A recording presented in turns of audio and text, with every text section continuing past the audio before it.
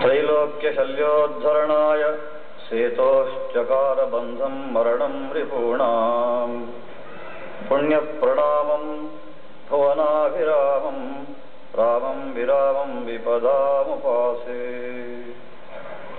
ईश्वरो गुरुरात्मेति मूर्तिभेदविभागिने व्योमवद्व्याप्तदेहाय दक्षिणामूर्तये नमः।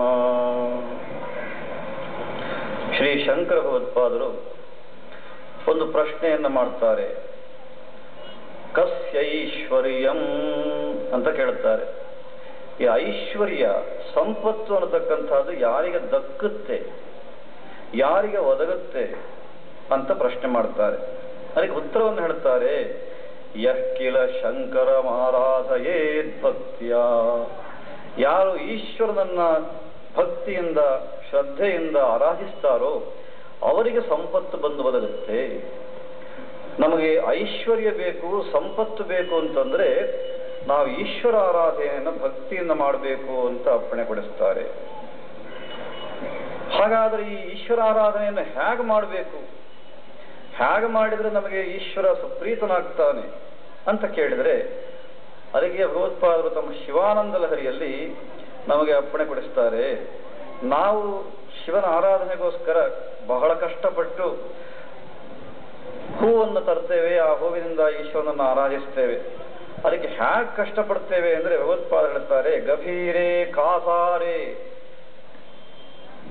ಆಳವಾದಂತಹ ಸರೋವರದಿಂದ ನಾವು ಕಮಲವನ್ನು ತರುವುದಕ್ಕೆ ಪ್ರಯತ್ನವನ್ನು ಪಡ್ತೇವೆ, ಕಷ್ಟಪಡ್ತೇವೆ. ವಿಶತಿ ವಿಜನೆ ಘೋರ ವಿಪಿನೇ.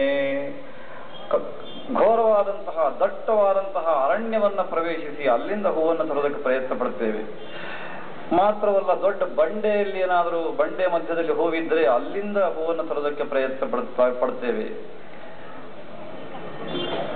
ಅಂತಹ ಒಂದು ಪ್ರಯತ್ನವನ್ನ ಭಗವತ್ಪಾದರು ಜಡಮತಿ ಅಂತ ಹೇಳ್ತಾರೆ. ಕುಸುಮಾರ್ಥಂ ಭ್ರಮತಿ ಜಡಮತಿ ಯಾಕೆ ಅಂದ್ರೆ, ಇಷ್ಟೆಲ್ಲ ನಾವು ಪ್ರಯತ್ನವನ್ನ ಪಟ್ಟರೂ ಕೂಡ ಒಂದು ಅಂಶವನ್ನು ಮರೆತಿರುತ್ತೇವೆ. ಯಾವುದು ಅಂದ್ರೆ ನಮ್ಮ ಉದ್ದೇಶಕ್ಕೆ ಅನುಗುಣವಾದಂತಹ, ಉದ್ದೇಶ ಈಡೇರುವುದಕ್ಕೆ ಬೇಕಾದಂತಹ ಅಂಶವನ್ನೇ ಮರೆತು ಬಿಡುತ್ತೇವೆ ಇಷ್ಟೆಲ್ಲ ಪ್ರಯತ್ನ ಪಟ್ಟು ಹೂವನ್ನು ಭಗವಂತನಿಗೆ ಅರ್ಚಿಸುವುದರ ಉದ್ದೇ, ಉದ್ದೇಶ ಏನು?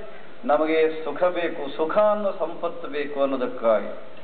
ಆ ಸುಖ ಅನ್ನೋ ಸಂಪತ್ತು ಬೇಕು ಅನ್ನುವ ಪ್ರಯತ್ನದಲ್ಲಿ ಉದ್ದೇಶಕ್ಕೆ ಅನುಗುಣವಾದ ಒಂದು ಅಂಶವನ್ನ ಬಿಟ್ಟು ಬಿಡುತ್ತೇವೆ ಅಂತಾರೆ ಭಗವತ್ಪಾದರು. ಅದೇನು ಅಂದ್ರೆ ಭಗವತ್ಪಾದರು ಹೇಳ್ತಾರೆ, ನೀನು ಅಲ್ಲಿಯ ಇಲ್ಲಿಯ ಹೂವನ್ನೆಲ್ಲ ಕಷ್ಟಪಟ್ಟು ಸಮರ್ಪಣೆ ಮಾಡೋದಕ್ಕೆ ಪ್ರಯತ್ನ ಪಡ್ತೀಯಲ್ಲ, ನಿನ್ನಲ್ಲೇ ಒಂದು ವಿಶಿಷ್ಟವಾದಂತಹ ಹೂ ಇದೆ, ಆ ಹೂವನ್ನ ಸಮರ್ಪಣೆ ಮಾಡಿಬಿಟ್ರೆ ನಿನಗೆ ಸುಖ ಅನ್ನೋದು ಸಿಗುತ್ತೆ, ಭಗವಂತ ನಿನಗೆ ಆ ಸುಖವೆಂಬ ಸಂಪತ್ತನ್ನು ಕೊಡ್ತಾನೆ. ಯಾವುದು ಅಂದ್ರೆ ಭಗವತ್ಪಾದ ಹೇಳ್ತಾರೆ ಸಮರ್ಪ್ಯೈಕಂಚೇತ ಸರಸಿಜ ಮುಮಾನಾಥ ಭವತೆ. ಮನಸ್ಸು ಅನ್ನತಕ್ಕಂಥ ಒಂದು ಕಮಲ. ಇದನ್ನ ಒಂದು ಸಮರ್ಪಿಸಿದ್ದೆ ಆದರೆ ಮತ್ತೆ ಇನ್ನು ಸರೋವರದಲ್ಲಿದ್ದ ಕಮಲ ಅಥವಾ ಕಾಡಿನಲ್ಲಿದ್ದ ಹೂ ಇಲ್ಲ ಒಂದು ಕಲ್ಲು ಬಂಡೆ ಮೇಲಿದ್ದ ಹೂವನ್ನ ಕಷ್ಟಪಟ್ಟು ತರಬೇಕಾದಿಲ್ಲ. ಅಥವಾ ಅದಕ್ಕೆ ಭಗವತ್ಪಾದ ಹೇಳ್ತಕ್ಕಂಥ ಅರ್ಥ ಏನು ಅಂತಂದ್ರೆ ಆ ಹೂವೆಲ್ಲ ಇರತಕ್ಕಂಥದ್ದು ನಮ್ಮ ಮನಸ್ಸನ್ನ ಭಗವಂತನಲ್ಲಿ ಇಡೋದಕ್ಕಷ್ಟೇ ಹೊರತು ಹೂವಿಗೋಸ್ಕರವಲ್ಲ. ಆ ಹೂವು ನಮಗೆ ಭಗವಂತನಲ್ಲಿ, ಭಗವಂತನ ಚರಣಾರವಿಂದದಲ್ಲಿ ಮನಸ್ಸನ್ನಿಡುವುದಕ್ಕೆ ಸಾಧ್ಯವಾಯಿತು ಅಂತ ಆದರೆ ಆಗ ಭಗವತ್ಪಾದರು ಕೇಳುತ್ತಾರೆ, ಸುಖೇನೈವ ಸ್ಥಾತು, ಜನ ಇಹ ನ ಜಾನಾತಿ ಕಿಮಹೋ. ಆಶ್ಚರ್ಯವನ್ನು ವ್ಯಕ್ತಪಡಿಸ್ತಾರೆ. ಇಷ್ಟೊಂದು ಸುಲಭವಾದಂತಹ ಮಾರ್ಗವನ್ನ ಅನುಸರಿಸಿ ಸುಖವನ್ನು ಪಡೆಯುವುದಕ್ಕೆ ಜನ ಪ್ರಯತ್ನ ಮಾಡದೆ ಸುಮ್ಮನೆ ಸರೋವರದಲ್ಲಿದ್ದ ಹೂ ಅಥವಾ ಬೆಟ್ಟದಲ್ಲಿದ್ದ ಹೂ ತರೋದಕ್ಕೆ ಪ್ರಯತ್ನ ಪಡ್ತಾ ಇದ್ದಾರಲ್ಲ ಅಂತ ಹೇಳ್ತಾರೆ.